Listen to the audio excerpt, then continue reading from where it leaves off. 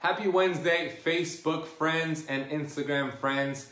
Every Wednesday at 12 p.m. Eastern Time, I go live with you. So, hey, guess what time it is? Get what, guess what day it is? It's 12 p.m. Eastern Time on a Wednesday. So, I'm here with you. I'm going to talk about top three ways to optimize your hormones. What the heck are hormones? Why are they so important?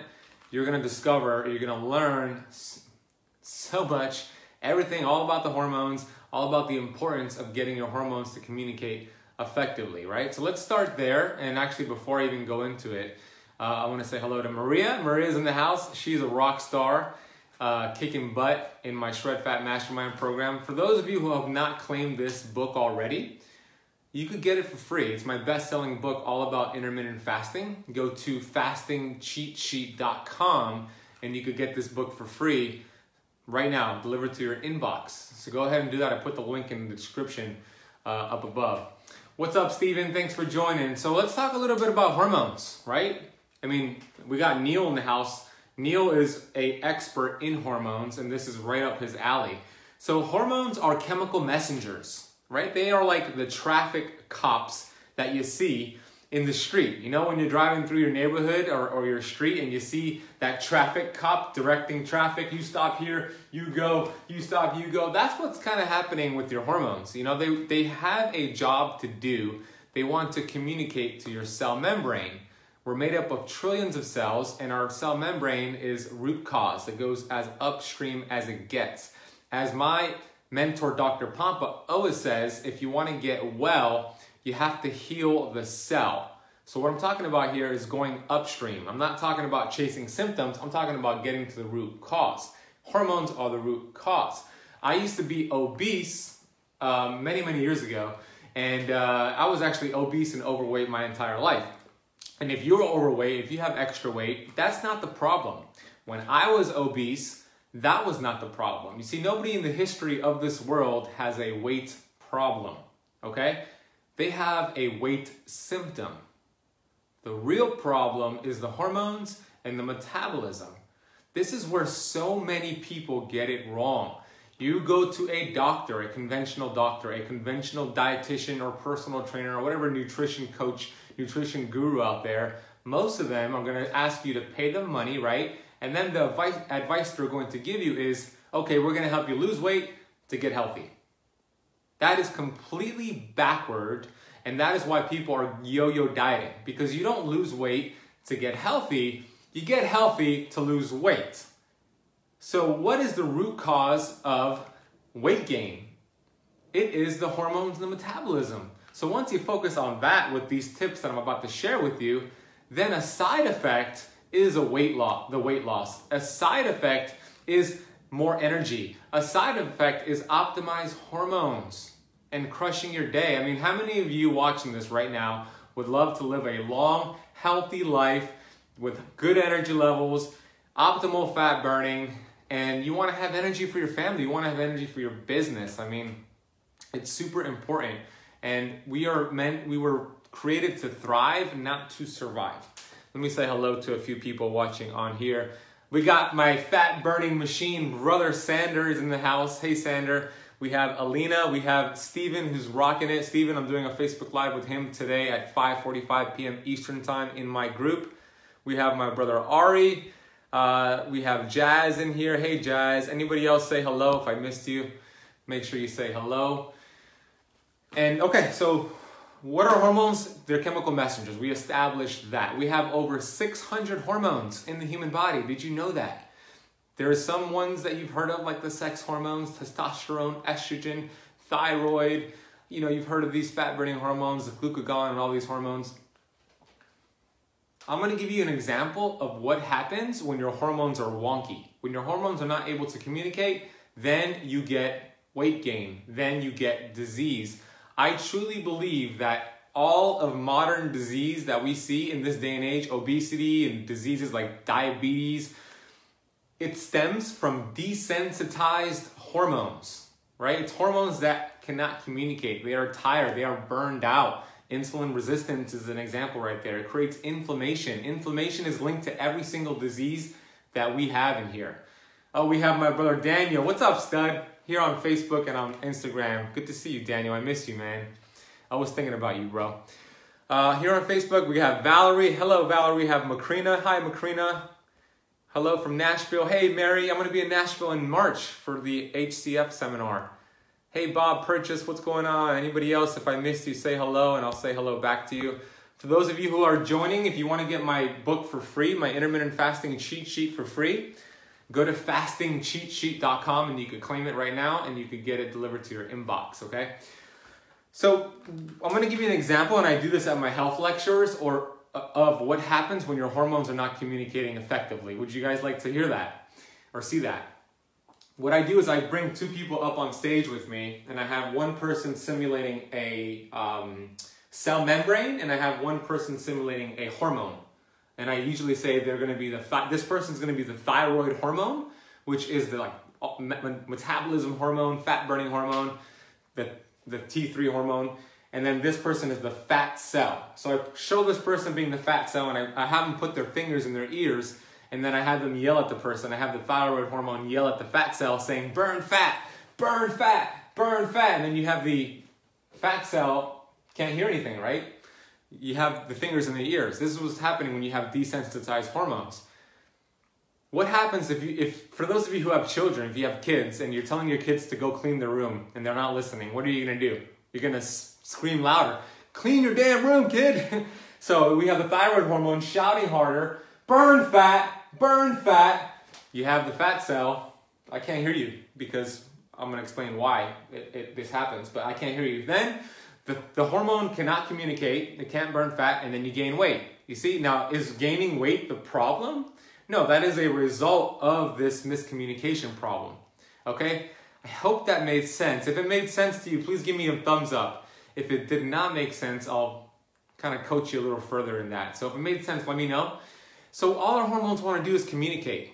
Our cell receptor sites have, or rewind there, our cell membranes have receptor sites on them, right? And they receive signals. And in fact, every cell membrane has a receptor site for the thyroid hormone. The thyroid hormone is very, very important. Thank you, Daniel. I appreciate that. Thank you, Stephen. I appreciate that. I'm glad this is making sense to, to, to a lot of you. So I'm going to give you three ways. I have my notes here. I'm going to give you three ways to get sensitive hormones. We want sensitive hormones. It is very important for our health and well-being to have optimized sensitive hormones. So number one, we want to adopt what, what's called metabolic flexibility. And that simply means burning fat and burning sugar and going back and forth. The cell membrane could only choose two things for fuel. It could either burn fat, ketones, or it could burn glucose, sugar. Here's the problem.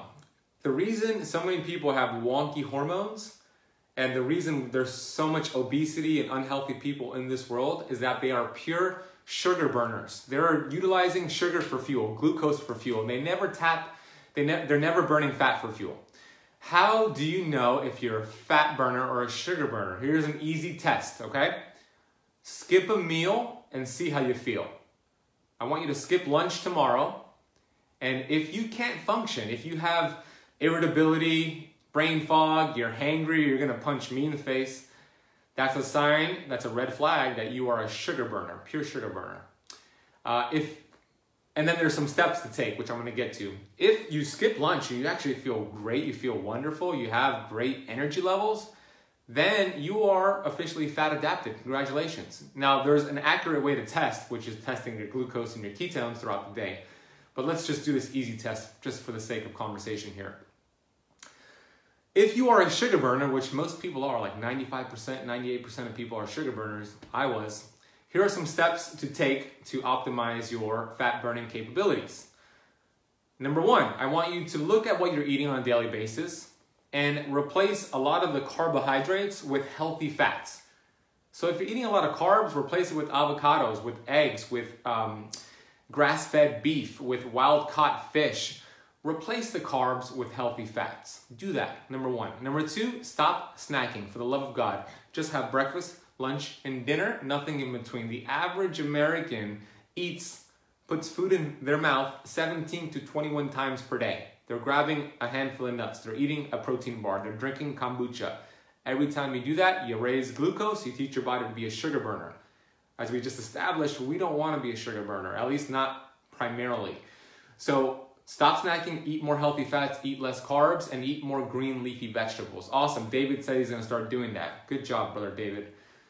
So that's rule number one. You do that for 14 to 21 days, and then you retest and skip that meal and see how you feel. And if you feel great this time, congratulations, you're fat adapted, right? So this is a powerful way to start helping your hormones communicate effectively. You were born to be a fat burner. Burning fat is your birthright, okay? When you were a baby, you were being breastfed. And guess what? Breast milk has a whole bunch of healthy fats and saturated fats. The baby needs those ketones for the development of the brain because the brain is 60% fat. Fat is important, my friends. Fat is your friend. Let me say hello to some people who hopped on in here. Hey, Liliana. Liliana's a freaking rock star. She is so committed to her health. It is inspiring. We have Joy. Hi, Joy. Thank you for joining. Valerie says, poor pancreas. Yeah, you're right. That's why many people are getting um, people are getting type 2 diabetic, which leads to type 1 diabetic because they're burning out the beta cells in their pancreas, like Valerie hinted. So if you missed it, I'm giving away my book for free. Go to fastingcheatsheet.com. That's fastingcheatsheet.com. You can get it for free. So number one was to get that metabolic flexibility. You want to teach your hormones to be like a 40 year old yogi, right? If you were a 40 year old yogi, you are very flexible. You could go in, you are very flexible. You could go in and out of positions. If you're a 40 year old, uh, not a 40 year old, but a 40 year yogi, so you want to be your hormone, you want to teach your hormones to have this flexibility. You want to burn fat primarily, and then you want to burn sugar when you need to. You go back and forth, right? You have that flexibility. So that's rule number one of optimizing your hormones. We have Daniel in here. Hey, Daniel Kirkshire, Kirkshire, thank you so much for joining the live stream. We really appreciate you. Okay, step number two, look at the toxins in your environment, in your diet. Toxins are everywhere. It is super important because when you start to go and to become a fat burner, you're gonna burn fat cells, which is great. You want that. Guess what? Fat cells store toxins, and when you start to burn them, they're dumped out into the bloodstream. So it's very important to have a detox protocol in place. I teach all my clients the proper steps so that so the toxins are not recirculating, right? Stephen, we're gonna talk about this today because this is what's happening to you right now, and that's why you don't feel so great my brother Steven. We're going to talk about it later. So here are some ways to help your body remove toxins that are practical. Okay, I can get into some supplements and some steps, but that's more for my, my clients. I'm going to give you some practical ways. Eat more bitter-rich foods because bitters are so great for your bile production. Let's talk about bile because bile is beautiful. Bile is what's produced by the liver and it's stored in your gallbladder and it's released to break down fat since we have just become fat adapted and we're eating more healthy fats, we want to make sure we're able to break it down to get the maximum benefits and to remove those toxins out of the bloodstream as you continue to lose weight. So eat more foods like um, arugula, dark chocolate, organic coffee, ginger, radicchio. All these things are great. Also take a high quality bile, or I should say digestive supplement that has ox bile in it and other properties in it. I like Thorne Biogest and um, BioBuilder. These are two great supplements. And then also drinking digestive bitters with water throughout the day. If you do this, you are going to feel amazing. You're not going to let those toxins recirculate around your bloodstream. You're going to dump it out. Because here is a fact, and I want you to remember this point. The amount of healthy bile that you have is in direct proportion to the amount of toxins you could remove from your body. And toxins are everywhere, okay? Let me give you an example. This is gonna blow your mind. If you are taking a shower and you're not, you don't have a shower filter, guess what? There's traces of toxins all over that water. There's traces of birth control pills and medication and nasty stuff, which is going on your skin. And whatever goes on your skin goes into your bloodstream. All right, you're being attacked by target uh, toxins. So use a shower filter. If you're using hand soap that has a whole bunch of chemicals in it, same thing. If you're eating non-organic food, same thing. If you are breathing in fumes from cars, same thing. If you're stressing yourself out, it's a stressor. which is making it even worse for toxins to enter your system, easier for toxins to enter your system. So it is rampant. It is ramp. Everybody has toxins inside of them. Okay, and here's what happens when toxins enter your body, because we're talking about hormones. So let's relate it to what happens when they enter your body. The cell membrane has receptor sites for hormones to communicate, right? Right? They have these receptor sites. Hormones attach and they get the job done. When you have toxins enter your body, these toxins mimic the same structure of hormones that go on the receptor site. It's kind of like a lock and key mechanism. It unlocks the hormone, the receptor site, and goes into your cell membrane and camps out in there. Then you have the thyroid hormone, whatever hormone that wants to communicate, and it can't get inside because there's toxins. That's why it's important to eat these bitter rich foods, take these supplements, produce that healthy bile to get that out of there. The liver wants to get it out of there, the kidneys want to help detox you. It's very important to have healthy bile. Don't overlook that step. Valerie says non-stick pans. Yeah, non-stick pans, you're getting all those toxins. It's a great point. Liliana says ill. We have my brother Zach. Hey Zach, good to see you, my friend. Yeah, dark chocolate, 85% or more. I'm a fan of. Sick and tired, pancreas, no bile, exactly. What is considered a bitter? Uh, a bitter is, bitter rich foods are arugula, dark chocolate, coffee, ginger. Um, I have a list in our group. Stephen, I'm gonna tag you in it so you see which ones I'm talking about. There's also something called moonshine. It's a product called moonshine digest, digestive bitters. Uh, I love them because you just drink it with water throughout the day and it helps you produce healthy bile.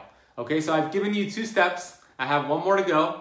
Has this has this been helpful so far, um, guys and gals? If it has, please share this video, and I would really appreciate. it. I'm to give you my last step right now, but if it's been helpful up until this point, please hit that share button. Uh, I'm on a mission to impact the lives of 1 billion people, and every share will help the lives of many other people. So please hit that share button. Give me some hearts, give me some likes. I see it. Thank you, guys. Thank you, Sander. Thank you, Stephen. Okay. Does anybody know, for those of you who are my clients in here, you probably know this answer, but do you know where 98% of fat burning takes place? Put your answers down below. If you know the answer, it's fine to put it too. Where does 98% of fat burning take place?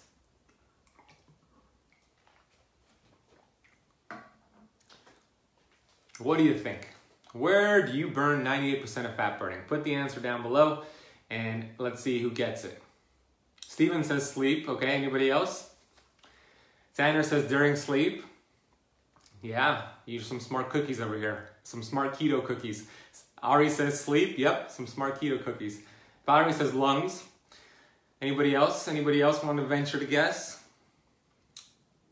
So it's, it is sleep, but specifically delta deep sleep. So hear this, I'm gonna repeat it. 98% of fat burning takes place during sleep. Not when you're at the gym working out, not when I'm moving around here. No, no, no. 98% of fat burning, David, you got it right, takes place during sleep. How is this possible, Ben? That doesn't make sense. Well, we activate our top fat, our top six fat burning hormones activate during deep sleep. Okay? These are thyroid, T3, IGF-1, glucagon, human growth hormone. Here's how it works. When we're sleeping, we go through four different stages of sleep, right? We have stage one, two, three, four. It's like a cycle of sleep, and then we go, we dip out of that stage and go back into it. So they're, kind of like waves we uh, we want to aim for four to five of these waves per night, which is these are 90 minute waves. So that's about eight hours, right? Seven to nine hours, I should say. If you are getting quality sleep and you're getting five waves, you're really burning a lot of fat. You're getting all these restorative properties taking place. If you're actually not getting seven to nine hours of quality sleep, but you're getting five hours, maybe you're sacrificing on your sleep.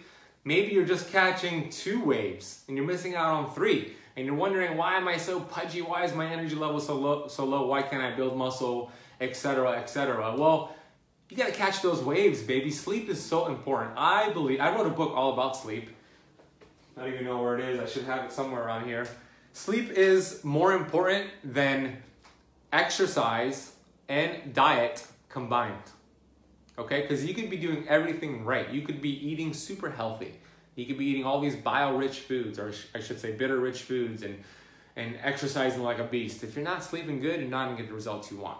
That's why it's important to emphasize and prioritize your sleep. I'm gonna give you some ways to do that right now. Seven to nine hours is the sweet spot. Everybody's different. Somebody might need seven, somebody might need nine or eight and a half. For me, it's seven and a half. That's my number. Some ways for you to get good deep sleep tonight avoid stimulation at nighttime. You need 60 beats per minute or less of your heart rate in order to fall asleep. So if you're on Facebook checking your notifications, getting angry because the president said something that pissed you off, and you're getting that heart rate jacked up, it's gonna be hard to fall asleep. Also, you're stimulating your cortisol and suppressing melatonin. This is not good for good sleep. You want, they have an inverted relationship. You want cortisol up, excuse me, you want melatonin up and cortisol down at night, okay? The problem is that we have manufactured a brand new daytime in this day and age with all this light, all this stimulation. So power down that MacBook, put your iPhone on airplane mode, shut it down, read a book by candlelight, wear blue blocker glasses like I do every night. You're gonna produce melatonin, you're gonna help suppress cortisol, and you're gonna get deep sleep where you activate these top six fat burning hormones. Those are three powerful steps for you to take charge over your life. Remember, we have 600 plus hormones and they want to communicate. They want to just do the job of helping you achieve perfect health. Perfect health is just getting your body to function the way that it was designed to function. Mother Nature, God, the universe, whatever you believe in, you were created for greatness. You were created to thrive, not for disease, not for uh, survive, to just merely get by and survive. No, you were meant to do, make an impact on this planet. If you are just joining in here, say hello to me uh, so I could acknowledge you and also get my book for free. I wrote this book called The Intermittent Fasting Cheat Sheet. It'll teach you. So, this book, I, over the years, I've been doing fasting for five years, five plus years now. And I've been getting a lot of questions about fasting. Are you going to burn muscle? Are you going to slow down your metabolism? What if you're a woman? What if you have this? What if you have that? So I decided to get the top 20 questions that I've received on intermittent fasting and put it into a book and answer it with science. It's a very easy read. You can read this like in an hour and learn a lot about fasting. So go to fastingcheatsheet.com. And uh, any other questions for me? You know, I gave you a three prong approach to optimizing your hormones. And when you take care of that, the side effect is weight loss. The side effect is more energy, okay? If you come across somebody and they're telling you that they want to help you lose weight to get healthy, ask them, isn't that backwards? Don't you get healthy to lose weight? and then chuckle and see what they have to say for that. Because if you go to Jenny Craig, if you go to a lot of personal trainers, they're gonna help you, they're gonna tell you to lose weight to get healthy, okay? It's, it's, it's, it's a broken system. It's a flawed approach.